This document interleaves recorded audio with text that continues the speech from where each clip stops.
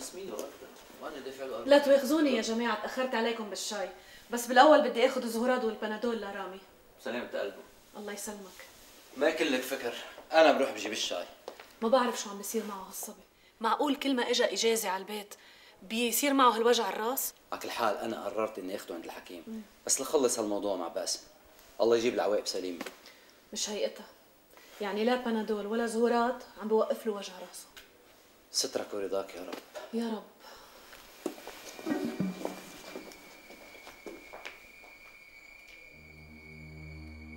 آه راسي. ماما. آه. جيت يا حبيبي جيت. راسي يلا. حيفقع يلا يلا. هيدا الزهورات. يلا. سلامة قلبك يا حبيبي. بشو عم بتحس؟ راسي رح يتشقف. بلكي صفقة هوا. يا ماما شو صفقة هوا كل ما أرجع من الاجازة راسي رح ينفجر. آه. آه. طالما عم تقول إنك صار لك شهر عم تراقبه وكل ما اجى من الاجازه عم بيصير معه هيك لازم تاخده عند الحكيم. نحن قلنا وجع راس عادي مش محرزة. بعدين هلأ كنت عم أقول لمرتي إنه بدنا ناخده اليوم عند الحكيم. إيه طب يلا قوم شو ناطر؟ أنا بروح معك. قوم يلا اتكل على الله. يا أبو رامي باسم مش غريب. الصبي رح يموت من وجع راسه. ما بعدني عم أقول له هلأ لازم ياخده عند الحكيم. أنا بروح معكم. يلا يلا. ولو بلاش نعذبك معنا نحن يعني. لك يا أبو رامي شو هالحكي هذا؟ نحن مثل الأخوة. روح اتكل على الله. يلا. الصبي هيك. خير دكتور. طمنا خير إن شاء الله. أي خير حكيم؟ لما عم بصرخ من دون وعي من وجع راسي وعيوني صاروا حمر مثل الدم. رامي أنت قلت لي إنك آه، لو سمحتوا ممكن ابقى أنا ورامي على انفراد.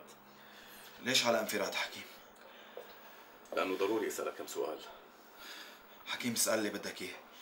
أنا ما عندي شي خبيه. رامي أنت أكيد ما عندك شيء تخبيه؟ طبعا ما عندي شي خبيه.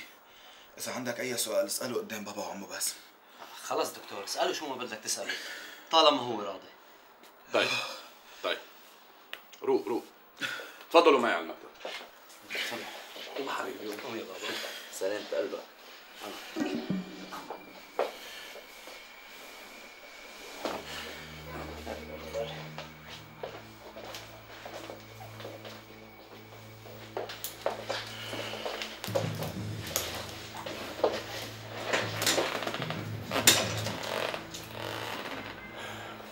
رامي بتدخن شيء لا ما بدخن. بس برجل تسلي مع أصحابي مرات من وقت لوقت. تاخذ أدوية معينة باستمرار؟ لا. تتعاطى شيء؟ أتعاطى؟ شو بدي أتعاطى حكيم؟ مخدرات مثلا؟ أعوذ بالله. لا بحياتي قربت صوب المخدرات ولا بعرف كيف هي. طيب آه، رح أطلب لك فحص مخبري. إذا إذا شو حكيم؟ عم لك بحياتي ما شفت المخدرات ولا تعاطيتها.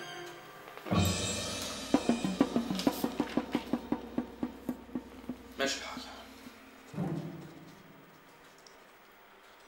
ضروري تعملوا هيدي الفحوصات. وعلى ضوء بنشوف شو القصة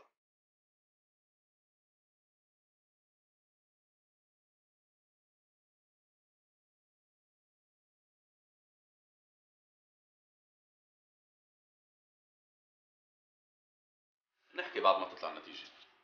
سلامتك رامي. إن شاء الله خير. الله يسلمك. تفضل.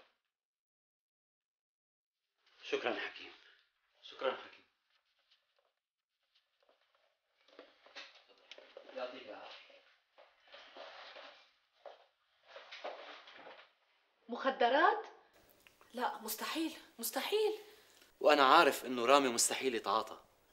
بس شو اللي خلى الدكتور يحكي هيك؟ وكأنه واثق 100% إنه رامي بيتعاطى. لا هيدا الدكتور أكيد إشبه شيء.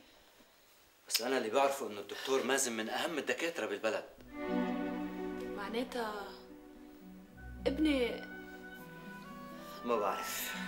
على كل حال خلينا ما نستبق الأمور. تنعمل له الفحوصات ونشوف نتيجتها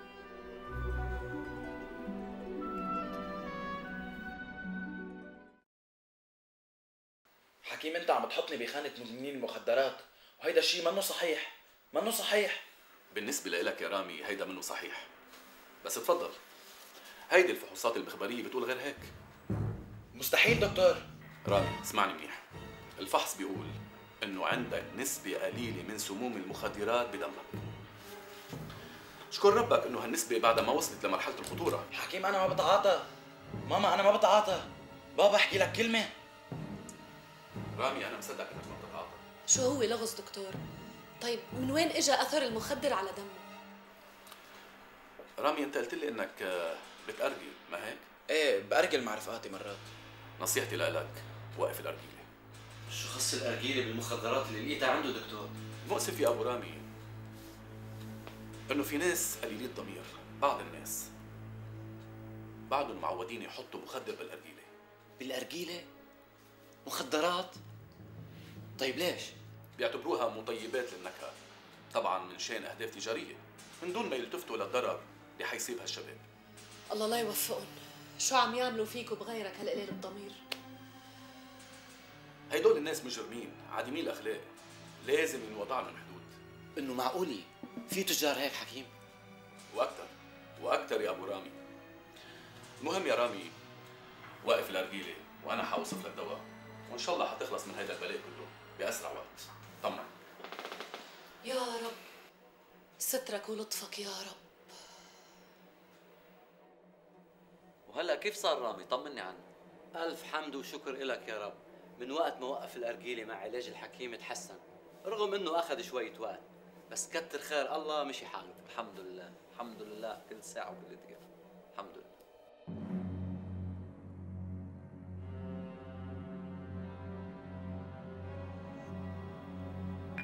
يا زلمة شو بك حاط راسك بهالجريدة؟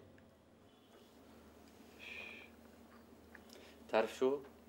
لأنه عم بقرأ موضوع نفس الشيء اللي صار مع ابنك من أربع سنين تتذكر؟ ليش أنا نسيت لحتى أتذكر؟ الله يحمي هالشباب من الأرجيلة ويحفظهم من القلال الضمير. هي وقفت على الأرجيلة يا خي أبو رامي. قريت شغلات ومرق معي أشياء ما بيتخيلها عقل. اف بعدك مهتم بهالموضوع من وقتها؟ لأنه اللي عم بقراه بهالأيام أفظع من اللي صار مع ابنك. آخر خبرية هيدي ال- البولشوت سمعت فيها؟ وعندك هيدي ال- المشروبات المنشطة والحبوب أوه أوه أوه. وآخر شيء محلات الدليفري الأراجيل اللي سكروها. سكروها؟ طيب ليه؟ لأنه عم بيصير مع الشباب مثل ما صار مع ابنك. عم بيقولوا عم بيحطوا مخدرات فيها. الله يعين يا خيي جميل الله يعين. شو حيفيد طالما ما حدا سألان؟ تعرف عم فكر اطرح هالمسألة على التلفزيون. تلفزيون؟ والله فكرة. خلي هالأهل وهالشباب يوعوا شوي ويشوفوا شو عم بيصير حواليهم. بعدين بركي هالمسؤولين بيتحركوا شوي وبيعملوا لهم أي شيء ليحموا أولادنا من هالمرض المخفي اللي عم بدمر المجتمع بكامله. بس ليك هيدا بده منك تجمع كل شيء قريته وتبعته. لا لا لا ما في داعي. قصة ابنك لوحدها بتنفع كنموذج. لأنه حسب ما عم بقرأ بالجريدة اللي عم يعملوا هيك بالشباب ما عم بيتوبوا ما عم يرتدعوا وعم بيحاولوا دائما ينصبوا لهم فخوخ مدمرة. الله ينجينا من عبيد المال والكسب الحرام. آه.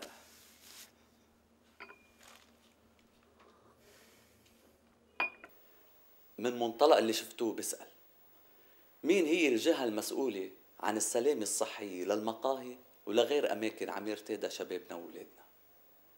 مين هي الجهة المسؤولة عن إعطاء التراخيص ومراقبتها؟ ومين هن المعنيين بالمراقبة؟ وشو مسؤوليتهم؟ وبالآخر بسأل. هيدا الأمر ما بيستحق إعلان حالة طوارئ وقائية بتستلزم إجراءات معينة وتدابير ملزمة. وقديش ممكن تكبر هالمشكلة؟